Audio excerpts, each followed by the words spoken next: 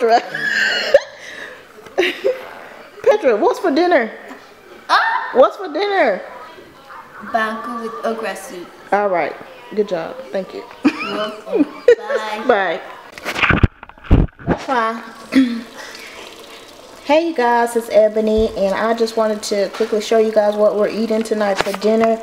Um, I don't know if y'all know um, that my husband is from Ghana and um, in our house we have kind of like a Ghanaian slash American house as far as the things that we eat, the music that we listen to, um, the languages that are spoken, things like that. But I wanted to show you some of the foods that we eat that are um, Ghanaian. And this is okra stew. And um, it has like pieces of goat meat, if you can see in there.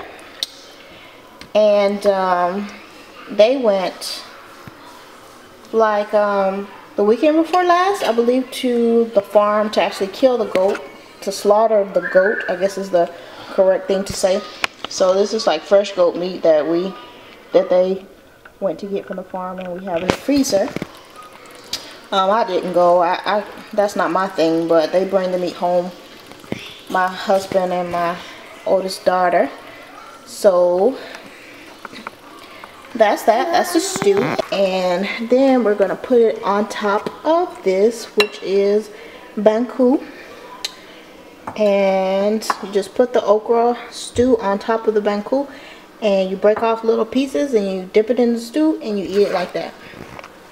So this mama right here is for my two-year-old. It's probably too much but she'll eat as much as she can and then she'll be full. So that is what's for dinner, okra stew, and with goat meat and banku.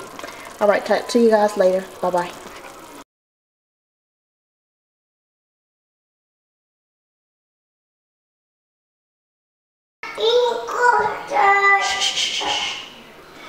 So here is the final, so here's the final product, and like I said, you would just break off a piece of the banku you dip it in the okra and you eat it like that. So it's very good. This is actually one of my favorite um, Ghanaian foods dishes. One of my favorites. It's really good.